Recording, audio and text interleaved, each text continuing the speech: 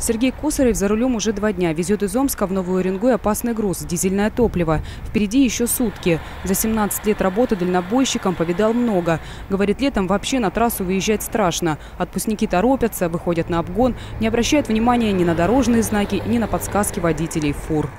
Вот сейчас вот там ехал, моргал, моргал, нет. Вот когда сплошная, он тогда обогнал. А так, моргали, чтобы он проехал, да? чтобы он обогнал, да, на прерывисто, что впереди никого нет. Но они ищут трудности. С началом отпускного периода автомобильный трафик увеличился, а ДТП на загородных трассах, как правило, самые тяжелые из-за высоких скоростей.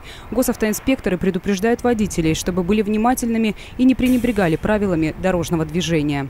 В круглосуточном режиме выставлен у нас на наш участок э, автодороги наряд ДПС. Значит, направлена работа наша в рамках данного мероприятия на предупреждение дорожно-транспортных происшествий, на пресечение грубых нарушений правил дорожного движения. Это выезд на полосу встречного движения, где обгон запрещен, превышение скорости, управление транспортным средством в состоянии опьянения.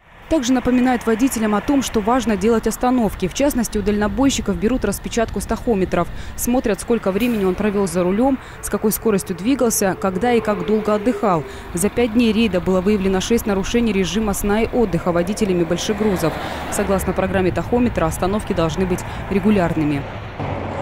Минут 30 в 4 часа достаточно.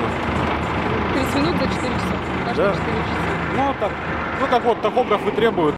За время дежурства на данном участке дороги было зарегистрировано одно ДТП и выявлено около 100 правонарушений. Чаще всего водители пренебрегают правилами использования ремней безопасности, перевозки детей, а также нарушают при обгоне. Мария Сираева, Денис Ефремов, телерадиокомпания «Юганск».